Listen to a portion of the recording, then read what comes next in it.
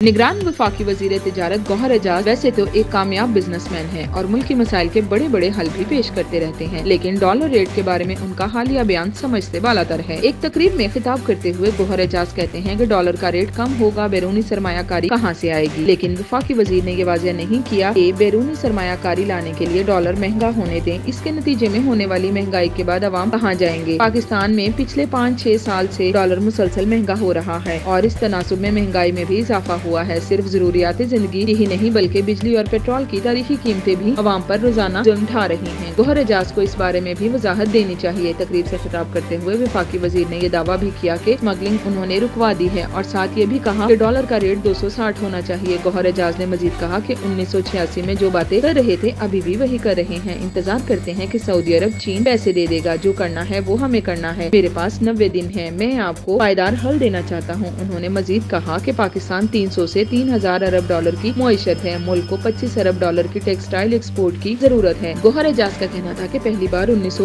में कराची चैम्बर का इलेक्शन लड़ा था। कराची चैम्बर आना घर आने के मुतरदिफ है। सूद हराम है। मुझे दस साल पहले ये बात समझ आ गई थी।